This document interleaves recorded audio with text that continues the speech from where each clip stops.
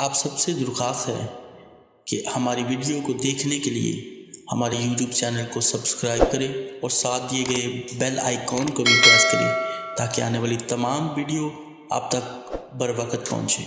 शुक्रिया।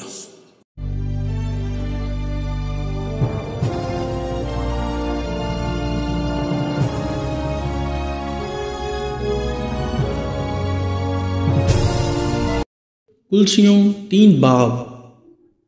उसकी बीस से इक्कीस आयत मुबारक आए फर्जंदो, हर बात में अपने माँ बाप के फर्मा बरदार रहो, क्योंकि ये खुदावन में पसंदीदा है। औलाद वालों, अपने फर्जंदों को देख ना करो, ताकि वो बेदिल ना हो जाए।